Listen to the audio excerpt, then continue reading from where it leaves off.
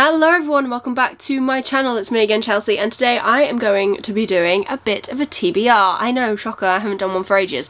This is much more of an MBR. I can't guarantee what I'm actually going to read. I am all over the place at the minute with my reading. I'm not reading an awful lot. Um, the books I won't talk about in this video are the SPFBO books that I need to read. I'm in the midst of one right now as I'm filming this. Um, there will be video reviews coming for some of them as we go throughout the competition. But that's not for now. I'm taking part in no tours. Um, I do have a buddy read with my friend Kate, but we do prompt things. So, I think the prompt for this month, let me double check because I really planned terribly for this video. Um, the prompt for this month was new from author, so a new book from an author that we have previously read from. We're going to read separate books because that's just what we do. Um, we don't necessarily read the same things, and I'm sure one of these things that I'm going to talk about will actually count. Keep up with my vlogs, which I'm hoping to get back into, to see what I actually end up reading. But we're going to just go through my Goodreads. I literally have my Goodreads here. We're going to go through what I have still got sat on my currently reading list and we're going to talk about it and hopefully manage to get some of these finished because I don't really want to go into next year with a full stack of books with bookmarks in. So this month I'm either going to be reading these books or DNFing them. Whether that means I'm DNFing because I'm not enjoying them and getting rid of or if it means I'm just going to soft DNF that's just going to be something we do. So the first one on this list is actually Children of Time. I started reading this. We're going to do dates and everything for this. I started reading this back in July and I am just over 100 pages in. I quite like this book so far. However, my problem with it, which is not, it kind of is a problem, and I think it's what has driven me to kind of put it down, especially at the minute, is that Adrian's writing is amazing. I love his sci-fis. However, sometimes they're a little bit too technical for me and recently I have not been in the headspace of difficult reading and sometimes that is what his sci-fis are. This one's really interesting. You're following from a perspective of a spider as well as humans, I think, if I remember correctly. Um, it's all very it's all very interesting. I don't know an awful lot. I'm 100 pages in and I kind of need to refresh myself. But what I do remember is that there was this whole experiment where they were going to release uh, monkeys onto this specific planet and release something that would accelerate their uh, evolution process. But someone sabotaged the mission and they released the monkeys but they got killed off in space, but they did drop the evolution speeder upper thing. Very technical, I know. And it has impacted the species that were already on this planet because Earth is dying and the humans want to move to this planet and they were using the monkeys to see if it was possible to live there. So Portia is a spider and she has been, you know, affected by this evolution and we're just constantly following this Portia character but I believe it's like in the generational term so every Portia isn't necessarily the same as the first one that was affected by this evolution thing but obviously it's speeding up the evolution of these spiders. So it's very interesting. I just don't know if it's going to be something that I continue to read because like I said not reading the difficult books at the minute.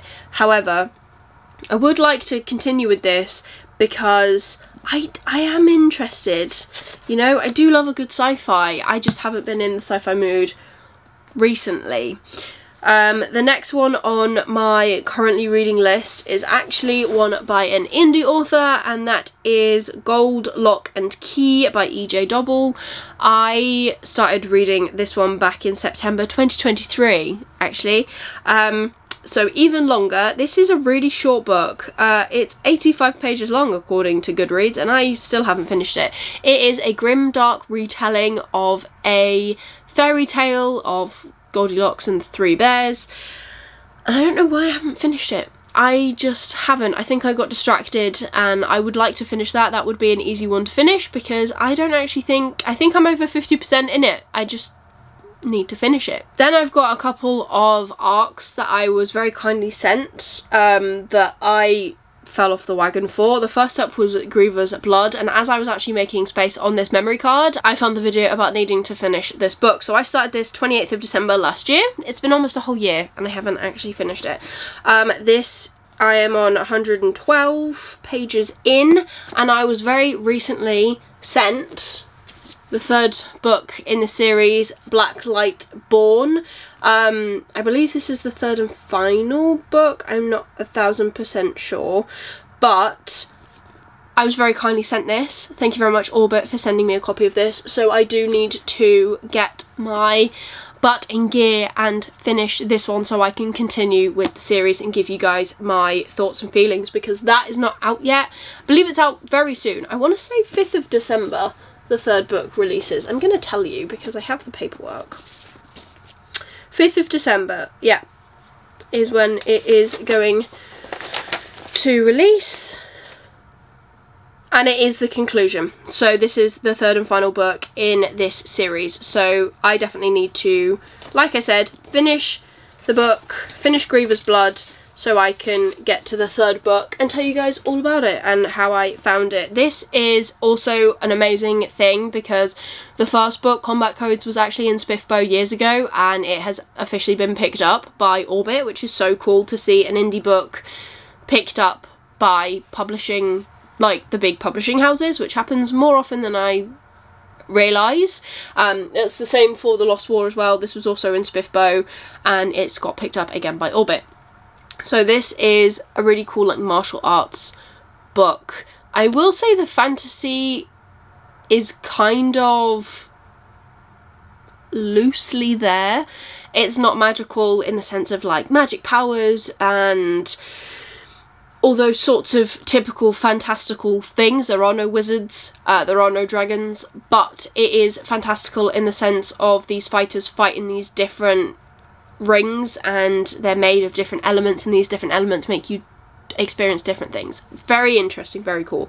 So definitely worth checking out the first book. I'm going to read the second book and hopefully the third book maybe this month so I can tell you more about it and whether it's a trilogy that I recommend. And then another one that has recently released its sequel as well is Gog Magog by Jeff Noon and Steve Beard. I was sent this by Angry Robot. Thank you very much, Angry Robot.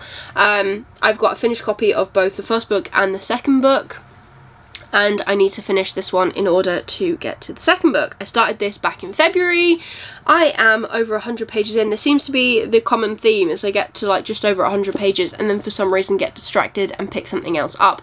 Or I think it's because I kind of overload myself at the minute. That seems to be what I have done this year. This year I have overloaded myself with reviews and competitions and stuff and I want to get better at that next year. That's a resolution, just like a sneak peek into that sort of content.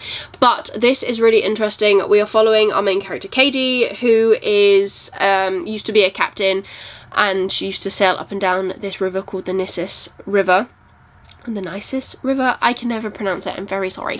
However, um, she is old now, she's retired, and this strange couple come up to her and request that she takes them down the river. And it's so interesting because this river has got so many different fantastical things through it and no one could nav navigate it like Katie could and that is why they've come to her. So I am at the point now where we're out where we're on the boat I just need to experience the rest of it which I plan to uh, very soon. So we will get there we will get them. You can't tell what this is because I took the dust jacket off, but this is actually If We Were Villains by ML Rio, which is their first book that I wanted, that I owned. Um, I am not even 100 pages in. 62 pages into this and I started this back again in February. This was a buddy read I was meant to read with Kate. I don't think she I think she ended up DNFing it. I don't think she finished it. And I obviously haven't either. It is just sat on my shelf. And I am enjoying the premise of this and I really do want to finish it. And this is following our main character Oliver who has served 10 years in jail for some crime. Um which was a murder which he may or may not have committed and we are reflecting back on his experience at this school which was an elite college for Shakespeare and acting and he was with I believe it was seven other people. Yeah he no he's one of seven young actors studying at this college and one of them dies and obviously I don't know which one because I haven't even made it to the halfway mark yet. So I really want to I really want to experience that. It's dark academia, it's perfect for this time of year, I just need to finish it. Which is the theme, actually, for this whole video. The next two books I can't really hold up because they are buried down there and I'm actually reading them on my Kindle but I want to finish the Empire of Storms and Tower of Dawn tandem read by Sarah J Maas. I have got this all sorted on my Kindle which is very cool. Um, I want to finish this series this year. This is such an unattainable TBR. there are so many books on this list and so many of them are so chunky but I do. I want to finish these books. I don't really think I'm that far in at all. I think I'm on chapter 10 of like both or something similar like that. Um, of God knows how many chapters in both books. These are chunky books and I started them ages ago. When did I start them? Let's have a look. Uh, I started these back in March and yeah, I want to cross these off. I want to finish them or at least finish them to the point where I only have Kingdom of Ash left to read and I can read that early next year and Throne of Glass is finished because I want to finish Throne of Glass before I go into ACOTAR. Yes, I do want to read ACOTAR. I have all the books on my shelf. I, my friend is loving them. I don't know if I'm going to love them as much because as we all know, say it with me, I'm not a romance girly. We know this. But I want to experience it because there is obviously so much hype for the ACOTAR series. I have them on my shelves. I need to read them because otherwise why they're sat on my shelves. And I think now that my friend has finished book two as well, I very much want to catch up with her so I can talk to her about this series. This is the first very popular series that I think she's read that I also have an interest in reading. She is very much a crime reader, or she used to be, um, and I am not. So it's very cool that we can now talk about these things because that's what I want to do. I want to talk about books with my friend. Um, and I don't want to do that without finishing Throne of Glass because I feel as though all I see online is people reading ACOTAR first and then reading Throne of Glass and saying, well, Throne of Glass is nowhere near as good. Now, I feel like Throne of Glass, this is a very weird tangent, so if you don't care, feel free to skip ahead. But I feel like Throne of Glass is going to be my favourite out of the two because it's less spice, more world building, more that sort of thing, from what I've heard. I can't really tell you the ins and outs because I've not read the ACOTAR series. I've read the first book but I feel like reading it in the Throne of Glass first, which is the YA series, and then going into ACOTAR is the better way to do it. Personally for me. Not necessarily for everyone else, but just for me, you know? So yeah, I want to at least finish those two. That was a very big tangent. The other one is also buried down there, so I'm just going to talk about it. The next one is The Grace of Kings, which was originally going to be part of It's All About Fantasy that I hosted with Lisa but she did not get on with it and she was never going to carry on with the series so we just didn't have the series. I want to read it and I believe she's going to try it again because the audiobooks, if you did not know, are finally coming to the UK and they are releasing at the start of December or like mid-December. So I've pre-ordered Grace of Kings so I can listen to it and hopefully I will finish it by the end of the year.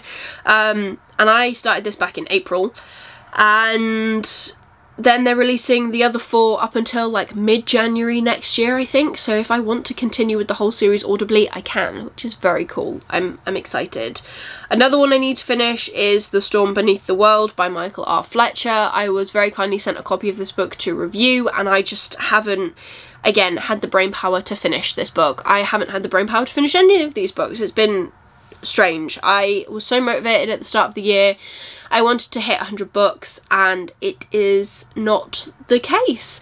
But uh, yeah, I want to start this. I started it in June. This is a really cool fantasy book where we're actually following like insects. They are the main characters and it is, it's very interesting It's very I'm gonna have to read you the blurb because I can't describe it so it's cursed by the gods the insectile Ashkaro live on flying islands, travelling the eternal river of days while a hellish firestorm devours the world below.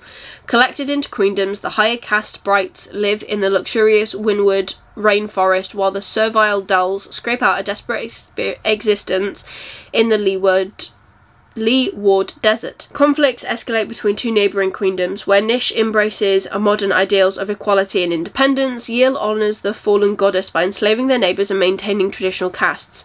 In preparation for the imminent war, Nish sends Ashkaro youths with dangerous talents to secret schools, training them as assassins and spies.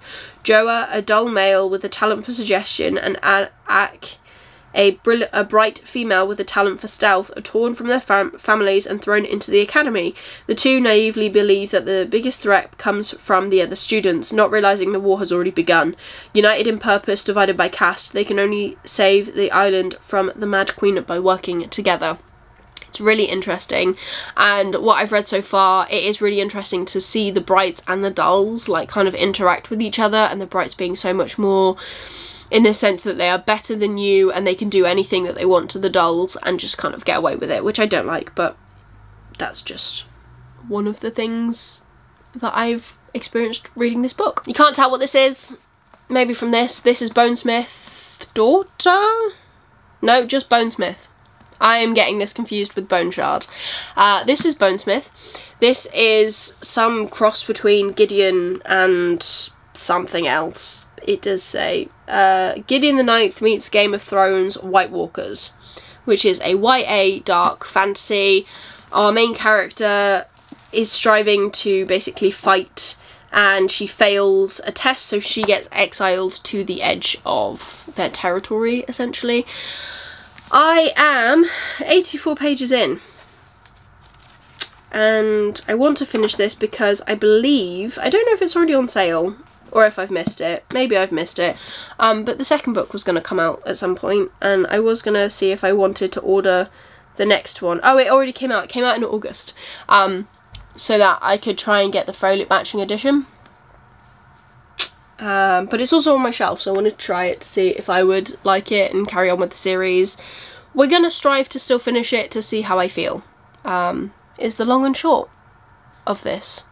So maybe we'll read this in December. I might have moved slightly, I'm not sure. Uh, next up is Butter which is officially Waterstone's Book of the Year, which I think a lot of people have been saying, like, I don't know why it is, but I think it's just based on how many people have bought this book. Like, I don't really think it's based on ratings. Anyways, this is a contemporary book. There's no magic in here.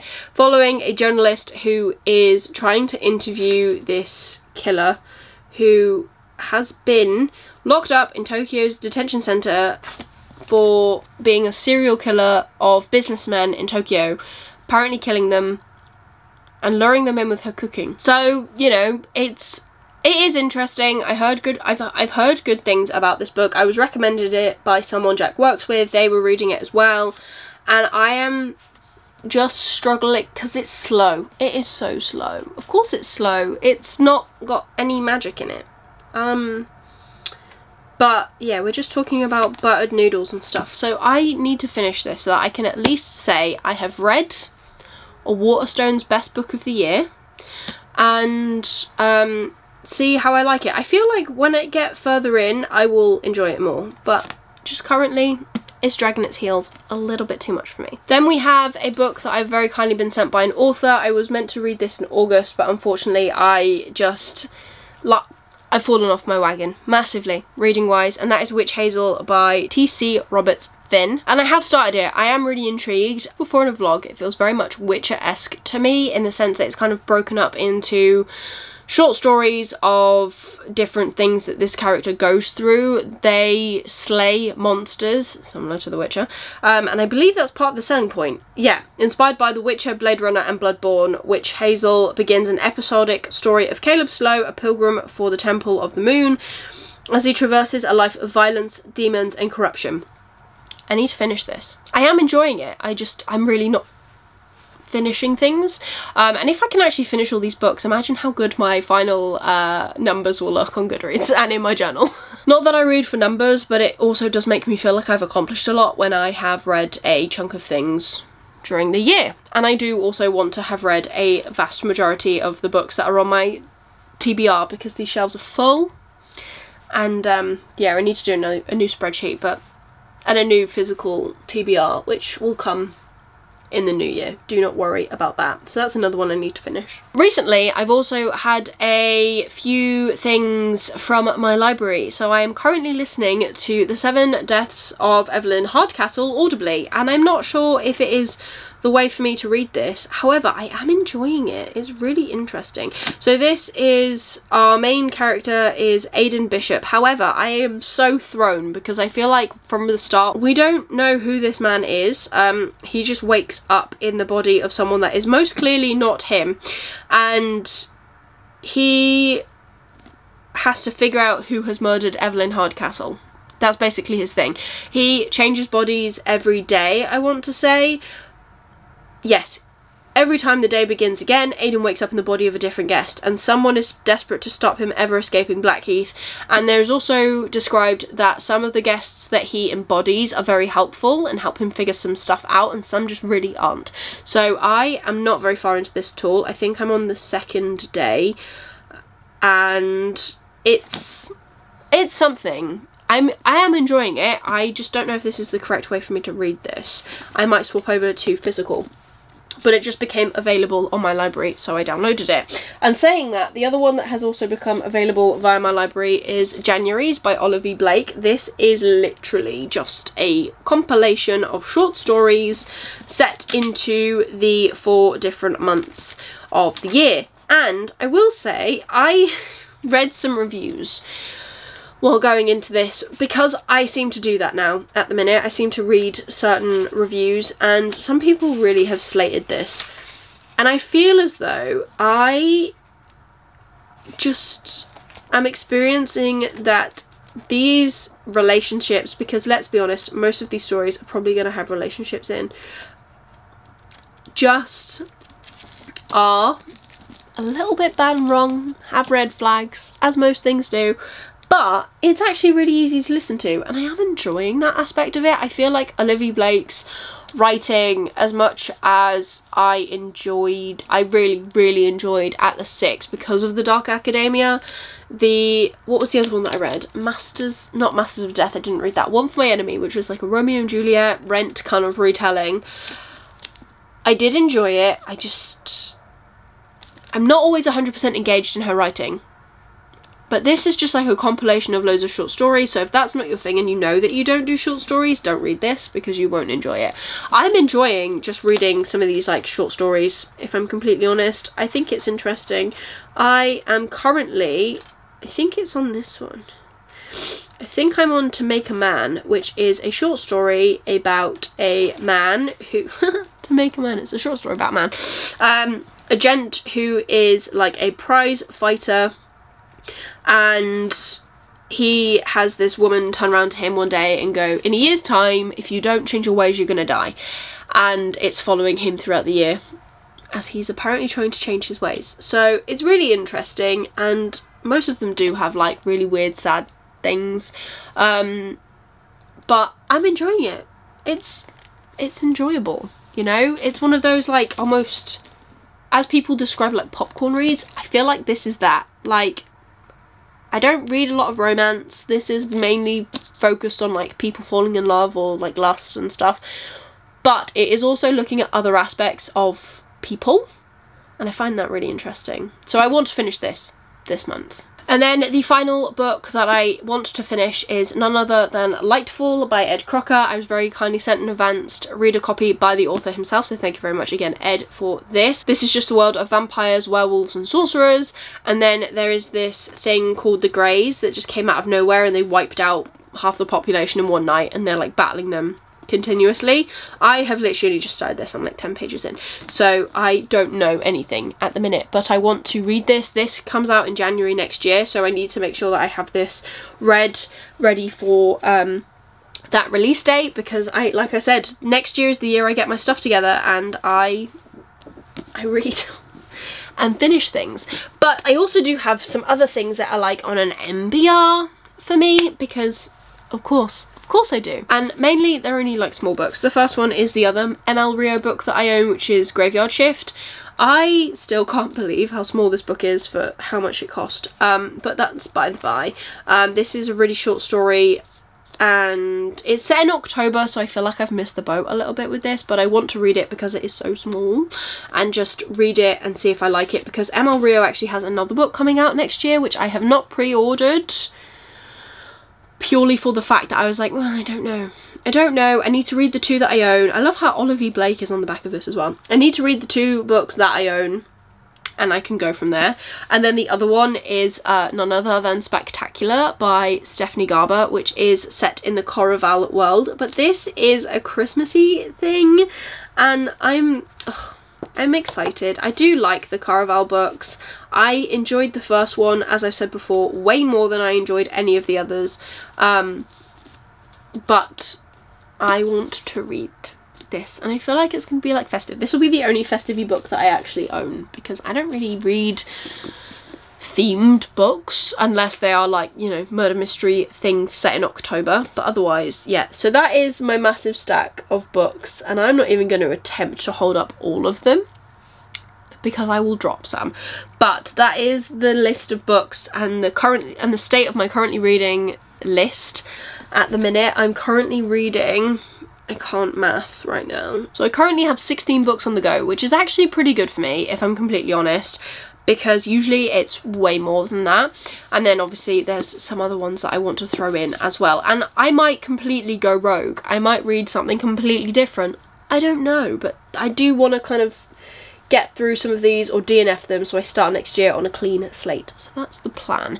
But this has been a very long TBR video or MBR video, whatever you want to call this. So thank you so much for sticking with me. I hope you've enjoyed it. If you have, please give it a like, really supports me and my channel.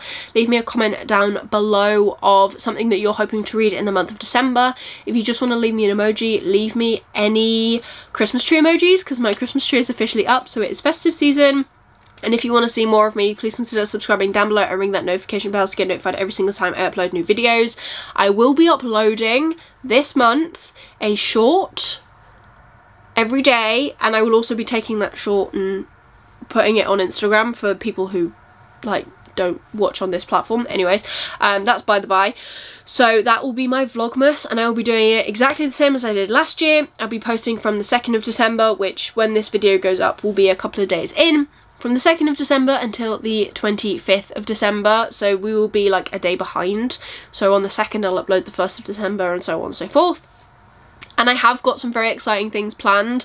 I am going to Lapland for a portion of December and I'm going to see like the panto and I want to, you know, also do other things. But there are going to be some dull days where I'm literally just sat at home or sat in an office working but I do want to strive to make the tail end of December the best content because I'm just so excited to capture Lapland. I think it's going to be so exciting and I'm going to go get a facial and all these fun things. So I'm just going to document December and see where we get to. But yeah, that is everything for this video. I hope you've enjoyed it and I will see you soon in the next one. Bye!